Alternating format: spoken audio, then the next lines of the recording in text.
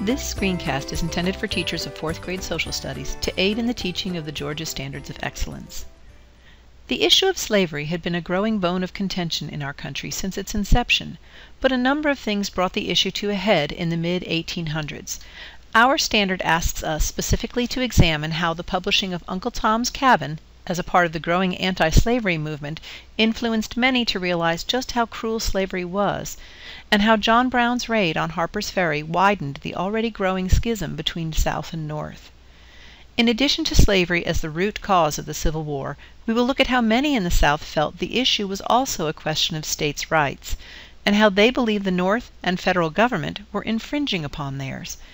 Next we will examine how the election of Abraham Lincoln was the catalyst that lit the spark of war, resulting in the first battle at Fort Sumter, the election of Jefferson Davis as President for the Confederate States of America, the military genius of Lee and Grant in commanding their troops through the turning point of Gettysburg, and how Sherman's strategy of total war resulted in the Atlanta campaign and Sherman's march to the sea, leading to the eventual defeat and surrender of the South at Appomattox Court House. The divide in our country over slavery was not something new that suddenly sprang up in the early to mid 1800's. It had been there since Thomas Jefferson asserted that all men were created equal in the Declaration of Independence. It became a bone of contention in the writing of the Constitution when it came time to determine the distribution of power in the legislative branches of our new government, and was, at least temporarily, settled with the Three Fifths Compromise. It once again reared its ugly head during westward expansion every time a new territory came into our control, and nearly reached a flash point when Missouri requested admittance into the Union as a slave state. As with the Three Fifths Compromise, however, much of the question lay in the balance of power in Congress between slave and free states, and the boundaries of control between state and federal government more so than over the issue of slavery itself. At further issue was the question over whether the federal government, specifically Congress, had the power to decide whether a state could have slavery or not, and proponents of states' rights believed that new states should have the same right to choose for themselves whether they would allow slavery or not as the original thirteen colonies did. Once again the dispute was settled with a compromise. The Missouri Compromise, as it became known, ensured that the balance of power between Southern slave and Northern free states would be maintained by allowing Missouri to enter as a slave state, but admitting Maine as a free state, thereby keeping the number of slave and free states even. Going further, it created an imaginary line across Louisiana that demarked the border between slave and free territories. All territories above the line would be free, and those below slave. Neither side was really happy with the decision, but it kept the peace and allowed us to continue to expand our territory. The debate over all of this resulted in the creation of many anti slavery groups who quickly came to realize that in order to move the argument from one of control in Congress to the very real atrocities of slavery, they needed to give the problem a human face, as it were, and so they took to writing. One such publication that did this very well was Uncle Tom's Cabin, written by the daughter of a Connecticut preacher by the name of Harriet Beecher Stowe. Uncle Tom's Cabin told the story of the life of a slave through its main character, Uncle Tom, and his family. The heart wrenching tale became a best seller, and brought the true horrors of slavery into the homes of many who had never really seen it before, and made this human tragedy impossible to ignore. Into this growing storm steps a fanatical preacher and abolitionist by the name of John Brown, who believed in violent opposition to slavery, and to that end came up with a plan to attack and take control of a federal armory in Harper's Ferry, Virginia. He, his sons, and his group of followers would then distribute the guns to nearby slaves who would use them in an uprising, sparking rebellion throughout the South. The plan was ill conceived from the start, and many poor and costly decisions were made during its execution, resulting in the capture and execution of most of the group, including Brown. But the event and the debate that followed served to further heighten tensions between the North and South. While Northerners decried his violent actions at first, his impassioned defense during his trial led many to sympathize with his cause and soon made him a martyr.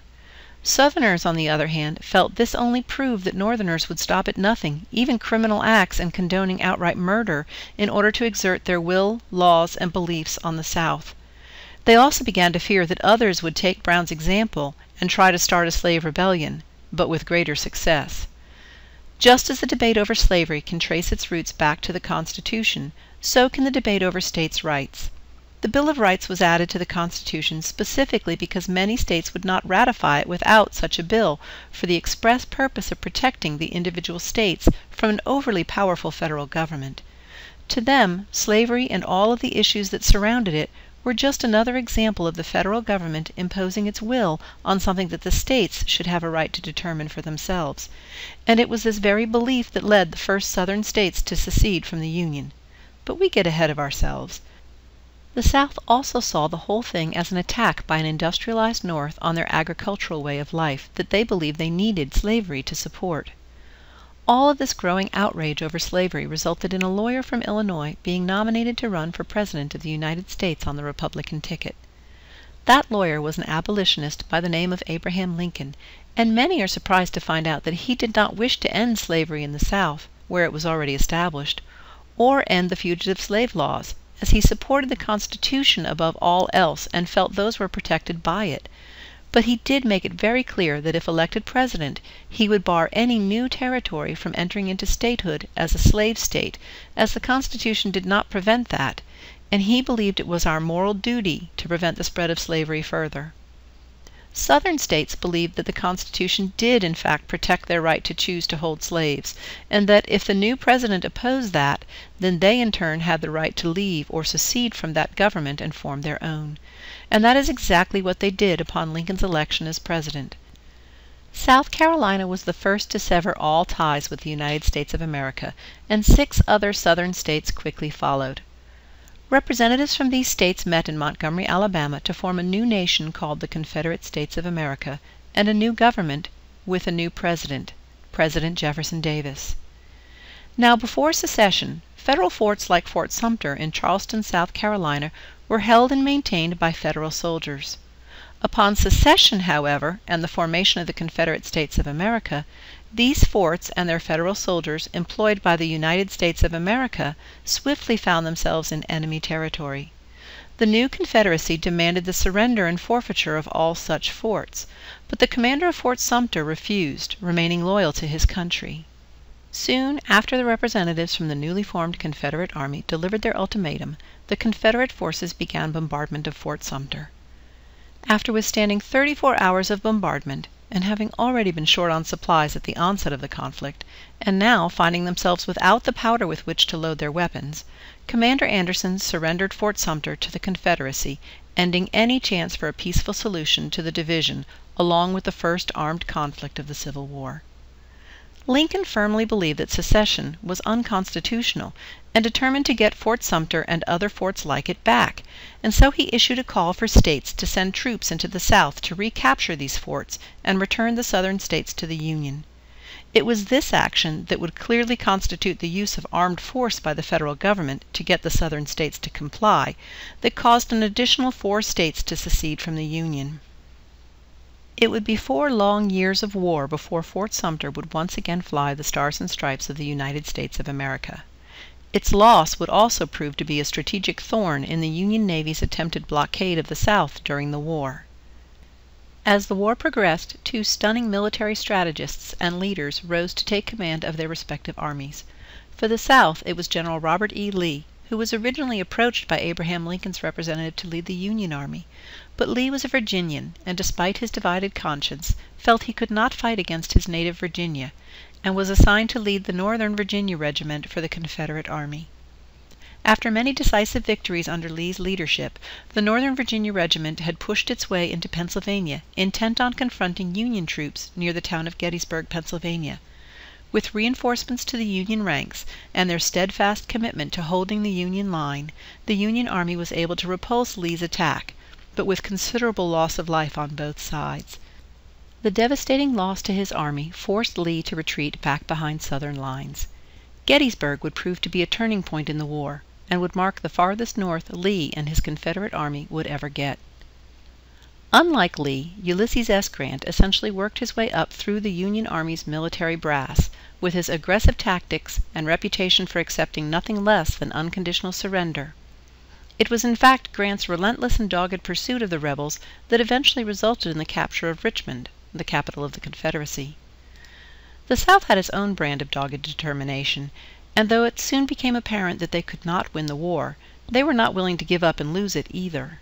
Union General William Tecumseh Sherman, serving under Grant, recognized this fact and felt the best way to end the war and limit further casualties was to cripple the South and break their spirit so completely that there was simply nothing left to fight with. This strategy became known as total war, or scorched earth, because of the necessity of burning pretty much anything that could provide food, clothing, or shelter to the enemy army. It was this strategy that Sherman employed upon chasing the rebel army down through Tennessee and into northern Georgia. These battles that were fought in and around the Atlanta area became known as the Atlanta Campaign. The Atlanta Campaign was one of the last ditch efforts for the South to try to hold out until the next Union presidential election, hoping for a defeat of Lincoln and the election of someone more disposed to them. To that end Confederate President Davis replaced the more timid General Johnston with the more aggressive General Hood in the hopes of holding Atlanta. However, Sherman had superior numbers and a well supplied army, while effectively cutting off supplies to the rebel army defending Atlanta. It was inevitable that Atlanta would fall, and Sherman, in keeping with his scorched earth strategy, would give the command to destroy or burn much of it. Sherman then set his sights on Savannah and its strategic harbor by way of a destructive path through Georgia. Rebel soldiers, recognizing the futility of fighting Sherman's army, instead fled south, destroying food stores, supplies, bridges, and the like as they went, to keep it from falling into Union hands. But Sherman had his own supply lines, and so what the rebels hadn't already destroyed, Sherman did.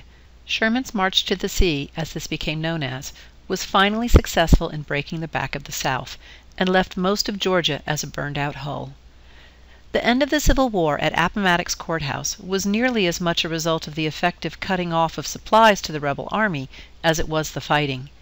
Chased and harried out of their capital of Richmond by the invading Union army, unable to resupply, and already half starved and exhausted, upon finding the Union cavalry had cut off their path to the railroad south, General Lee contacted General Grant to negotiate a surrender, ending the Civil War.